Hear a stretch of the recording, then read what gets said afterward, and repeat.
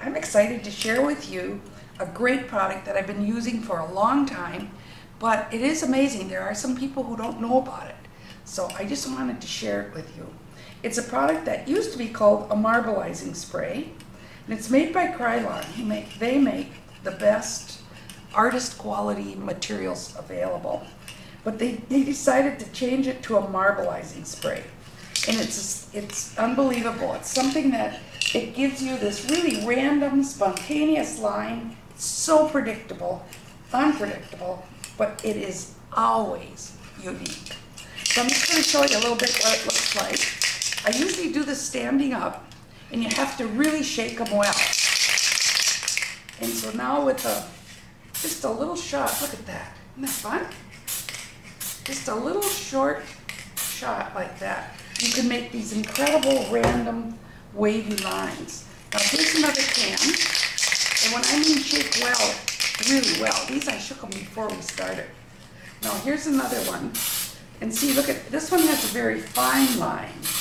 So you can't just buy one can and think you've got it made. Some have a much finer line, some, as they get a little bit older, they tend to thicken up a bit. Hmm. and now here we have a black one. Now this one takes a little bit more guts to spray. Ooh, it's really scary when you do this because you don't really have a lot of control. And just do it. I usually tell people always practice first. So whenever I'm doing this, I always just do a little bit of practice just to see how it's going. Oh yeah, it's working good. So now, this is a painting that I actually started with the lines. It was a way of designing it. But see, it still needs a few more. So I'm just going to give her another shot here. Hopefully I'm going to hit down in this corner, but there's no guarantee. You just, yeah, like I say, oh, that's pretty good. There's another shot up there. Ooh, love this. Maybe one coming down. And I wouldn't mind just a little bit lingering in there. Perfect.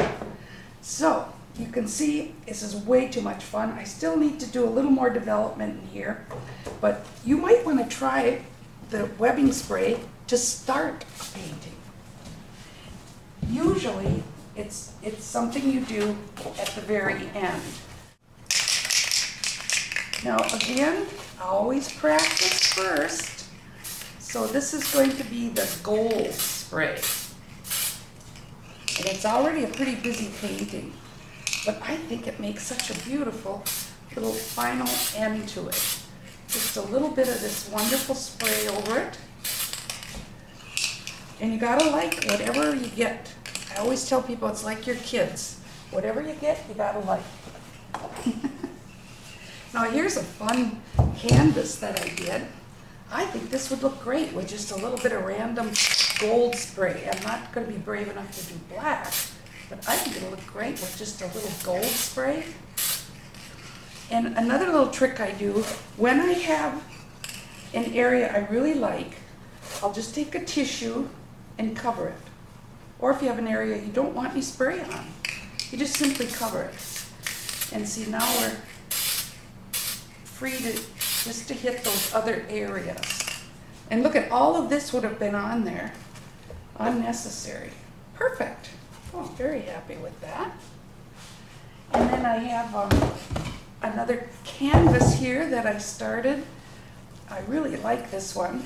This is a new lesson I'm going to be teaching now the summer of 2016. And it needs, see, I don't like that open white space there. I like it as a rest area, but I think just a little bit of linear, uh, a little linear touch in there would be good.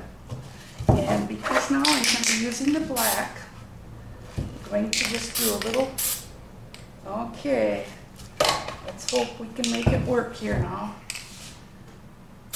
Whoop.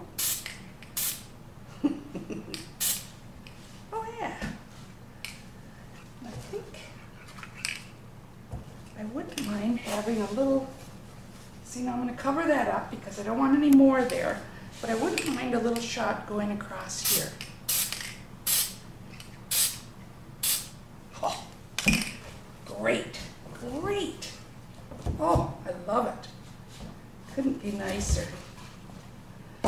And here you'll see a variety, and now you probably think, my gosh, does that woman put that on every painting she paints? Actually, no. There are certain paintings that I do this on. And here's another one that I like to do it on. When I have these lovely open spaces, I think it's just great to have a little bit of this. And see, I noticed there wasn't any up here. So I'm thinking this would be maybe one more shot right up there. Oh, and I got the wrong one. I should have had the one with the lighter spray. Oh well, like I say, whatever you do, you gotta like whatever you get. There. Eh, That's not bad. now here's some that are already done. Again, you can see how really nice it is when you have just the abstract in a few little lines. It's wonderful. Now here's one similar to the one with the white background. This one I chose to paint black. And I really like the addition of that fine gold webbing spray on the back. Very nice. Someday I'm gonna finish that. Here's another fun one. This was a lesson I taught this summer. And it, um, you can see I sprayed gold into gauze to create some lovely patterns in here. And then for the final thing, when the whole painting was done, I sprayed the gold webbing spray over it. And to me, it just, it's that final touch. It really does give it a, a beautiful little ambiance. And so, this is probably about the scariest one. This one here is one of my very favorite paintings. And at the very end, I got really brave and sprayed in just a little bit of webbing spray. Not to take over the painting like it can, just a little bit of subtlety. So you have to check your cans. Some spray very light, some spray much heavier. So I like to have an assortment of them around, and you always test them first. But once you get the hang of it, go for it. So I hope you find this helpful. This is a fabulous Unryu paper, U-N-R-Y-U. It's made in Thailand, and it's white. It's, I love this paper. Only 10 grams, very lightweight. So when you use this paper as a collage, all you see are the fibers and the paper becomes transparent. So for people who are control freaks, what you can do is you can spray with the webbing spray on this paper and just get some really interesting patterns of, in fact, they'll give you a good chance to do a little practice. now that's the heavier one.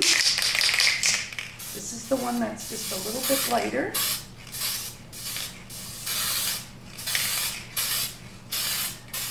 And here is the black. And see, the black is really scary. This is what happens. This is kind of interesting that would happen in the DVD here. If you don't shake it well enough, you get little spots. So we'll see if it will come back. We're still getting the little spots. It's starting. There we go.